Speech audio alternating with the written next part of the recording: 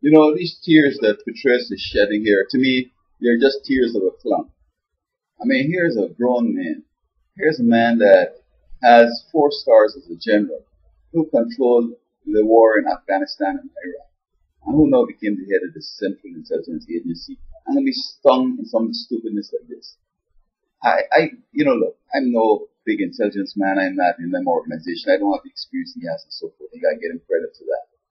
But I'm not gonna put nothing in no email that's gonna catch me down the road. Now, I have email experiences. I sent my email uh, assignments to a professor and he got something else than I did send him.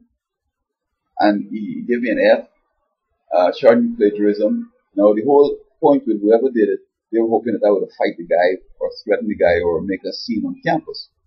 But no, I, I, I, I can understand what was happening, but I'm trying to figure out like what happened because I know I sent him my assignments. Even in my email I said, this is as far as I could have gotten.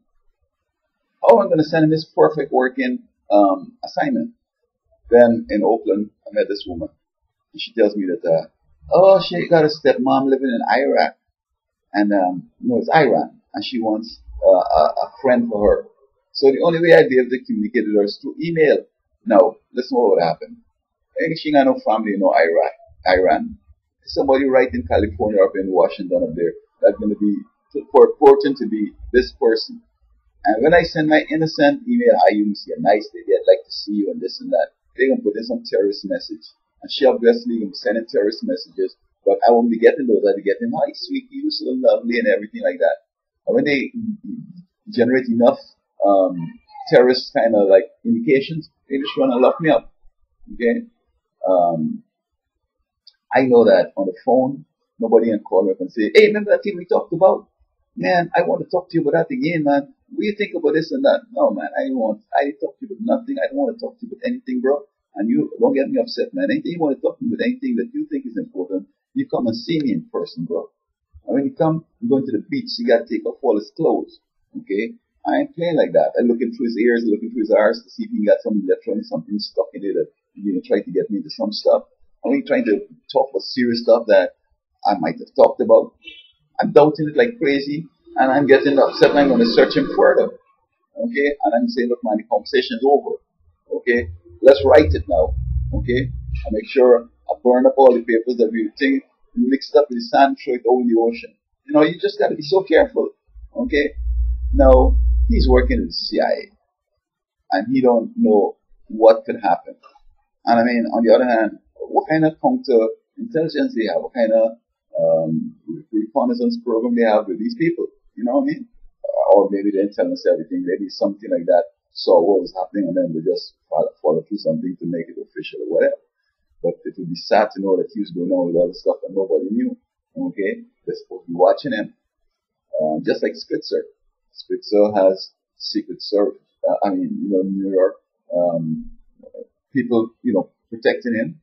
And he's trying to sneak away from them to go and liaison with some woman or going next door or whatever.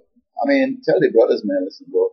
And you know, the wife back home, she she's got me putting on my my um, knee pads and and it's got to getting on my knee and all that stuff, man. I I need to be like you know whatever, all right. So I got this lady coming over. Don't worry about her, man. She's good. If you want, you can go on to and search her, but everything will be good. Okay, all right. Or find some other way to do your stuff, but he figured he was slick. And so um, me with these two women. I mean, how how did they know of each other and all that kind of stuff? This man got to be trivial and, and and get caught up in this kind of stuff. And, and what I understand is that he's talking about like, yeah, that bullpup you did the other day that was so good. You must do that again. I mean, you just can't implicate yourself like that. I have no discussions on an email, straight up business. You know, things that if anybody hear about it or see it, everything will be good. All right. So um, the question is, when I saw Petraeus's face, you know, I have this ability of knowing trivial people, and I see this guy as being trivial, man. I was just wondering, like, how he got so far, and you know, and so on. Well, sometimes when you're trivial, you get a lot, you get far because that's the whole role. You gotta be trivial. The enemy gonna set you with some stuff to destroy a country, make you uh, treasonous, and everything will be good. And nobody can come to me with that. Man, if you want to overthrow something, don't worry me, bro. or don't let me know nothing and make me look stupid and not stupid and you're not gonna make me stupid. I don't need your help. I don't want your money. Just leave me alone. Like I recall when was living in Toronto, Canada. I call up a certain organization, call it the Antichrist organization. And I say, I'm doing this here. Then, are you new? You need money? You need, uh, when, when you say, yeah, I need money and I'm new, they're going to send you uh, an advisor. And that advisor is going to be telling you what you got to do, especially when they tie you for that money, unless he's sexy or whatever. You know, I, I don't want to part of that. Okay, I want to be free. I want to be saying things the way they are and how I see it. I don't want to be influenced by no people. It's not necessarily that they have a different opinion. It's just that they think that their false idea must be accepted and become official and that I should be working for them and subjugate my true perception and, and follow their line just to get their agenda done. No, I'm not gonna do that. Okay, so they're like trivial men to put them in those positions. And so there was another guy working for the Homeland Security out in Virginia. He hooked up with some person he thought was some little teenage, some young on, underage girl. And while he's talking on the phone sex stuff, they just knock on his door and arrest him. I mean, what kind of thing is that? I mean, don't people think again, you know? And then some people are saying, oh, email, you don't have no privacy. Hello, hello, you can't have privacy like that. Man, if you put in cameras all in your house, okay, in your bedroom. So when you talk about privacy, he's supposed to know about um, no privacy, all right? And it's not gonna change. There can always be some way of doing stuff. So when you're in house, you gotta behave yourself.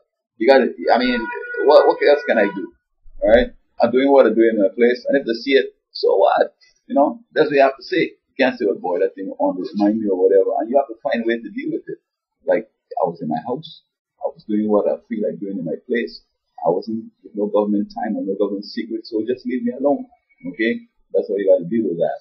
So these tears that he's shedding, uh, I don't know, I'm study that. He got this Broadwell girl out in the field somewhere up in Afghanistan or in Iraq. He walking and, and she got his mic in his face and talking. I mean, what kind, what kind of leadership skills this guy has? What kind of intelligence this guy has? I mean, you know what I mean? Well, he wanted to be president or something.